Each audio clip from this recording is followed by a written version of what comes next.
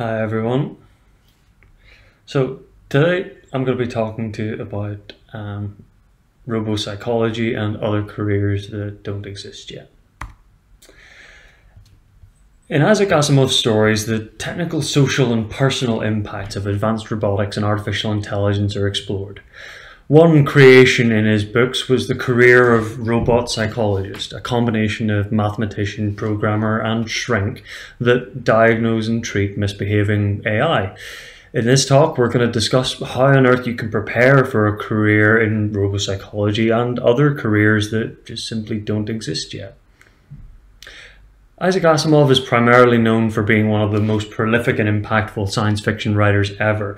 And as you would expect, while wandering around these fictional worlds, he came up with a few sciencey sounding mumbo jumbo terms such as positronic and psychohistory, and he's literally the father of the word robotics. He first used the term in his 1941 story Liar about a robot called Herbie that develops telepathic abilities and can read people's thoughts. However, because the robot's core operating principles or programming still included the first law of robotics, that is, not to hurt people, Herbie starts lying to people to make them feel happy. This leads to Herbie leading a robo-psychologist called Susan Calvin to believe that a co-worker fancies her. And when she finds out that this isn't true and Herbie just told her this because Herbie knew that the idea would make her feel better, she was very hurt. This first law is part of Asimov's three laws of robotics, which were officially codified the following year in 1942 as a robot may not injure a human being or, through inaction, allow a human being to come to harm. A robot must comply or must obey the orders given it by human beings, except where such orders would conflict with the first law. A robot must protect its own existence as long as such protections do not conflict with the first or second law. These simple laws that were programmed into all robots uh, collided with the very human tendencies of wanting to be loved and cared for and created this imaginary field of research called robopsychology. This is a field of research that today doesn't really exist but I first read about it in 2014 whenever I was on a packed commuter train in California, having just left Google's Mountain View complex where I'd met a university friend who was a programmer there. I'd spent the previous five years in a master's program at Queen's University Belfast studying electronics and software engineering, a course that's now called Software and Electronic Systems Engineering, and I would highly recommend it. So if you're interested, ask me afterwards. It focused on the overlap between two fields that, in my eyes, were obviously part of one bigger field. The electrical engineering side, how do you put lightning into glass to make it add numbers together? And then the computer science side, how do you take that act of adding numbers together and trick it into making into imagining that it's thinking? The physical world of computation and the virtual world of programming. And the magic in between fascinated me. I wasn't a particularly stellar student. Uh, I, I, asked lots of awkward questions and never did particularly well in exams.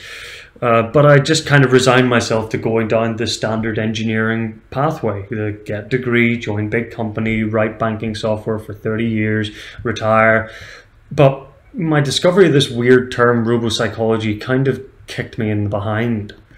Um, after that, I gave up on the prospective banking analyst job and took up a uh, postgraduate research exploring how smart submarines could collaborate and interact with each other for environmental and predominantly military applications, including how do you hide a nuclear submarine using sound and how do you use atomic clocks to build underwater GPS systems, as well as doing all of this under the assumption that somebody can take control of one or more of your submarines and make it lie or behave badly.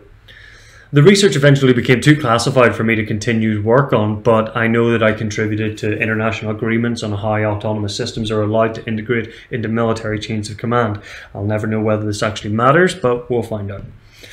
But anyway, this interplay between how fixed, rule based, programmed systems like computers and robots and the fuzzy, fluffy, mushy stuff that comes from people and communities has more or less driven my career since then. I spent two years developing smartwatch applications that could tell how stressed you were, culminating in culminating in partic- developing particularly shameful lie detecting underwear, as well as a survey system for a deodorant manufacturer that only asked you questions about the product when it knew that you were sweating. Um, we also developed a universal emotional translator based on some research where we literally threw people down mountains on motorbikes and worked out how stressed they were. After that, I leapt, in, leapt back into my old alma mater of cybersecurity, developing smart algorithms that watched the world's internet traffic, sniffing out hackers, trying to predict their next moves and detect the faint, faintest wisps of exploration and exploitation, fully aware that the hackers were doing exactly the same thing on the other side, automating intelligence gathering and teaching that lightning how to think um, and how to think for them. In my current world, role, I lead a team of data scientists, a term that didn't really exist when I was on that train in California only six years ago. We develop and monitor intelligence systems that watch company websites for security vulnerabilities. My day job is to work out better ways to try and pretend to be a hacker and work out how to automate the boring bits of the professional white hat hackers that I work with. When I was your age, these jobs just didn't exist. The internet as we know it today didn't exist. We didn't know what we didn't know. So when my careers teacher told me in around 2004 that I should look at being an insurance adjuster because I was good with numbers, she didn't know that the job would effectively be automated out of existence. So I ended up being a data scientist, not because it's what my careers teacher or parents or friends told me, and it, it it's not because it's on some skills or employability map or because the output of some assessment, assessment tests the job role didn't exist and I guarantee you that most of you watching now will end up working in and creating jobs that simply don't exist today. This could be bit farming or crypto influencer or quantum annealer or indeed robo psychiatrist. So, as you go through your studies, don't allow yourself to fixate or judge yourself against what jobs are out there now. Your parents and your teachers and your friends genuinely want what's best for you, so they will suggest and encourage you to follow certain paths, generally because it's advice they wish they could give themselves 20 years ago based on their own experiences since then. But the thing is that the past 20 years was theirs, the next 20 years is yours.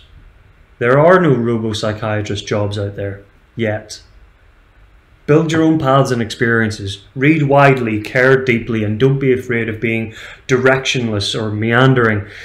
Because if you make your own luck, you might just end up in the right place at the right time with the right skills to realize that you're being lied to by a telepathic robot.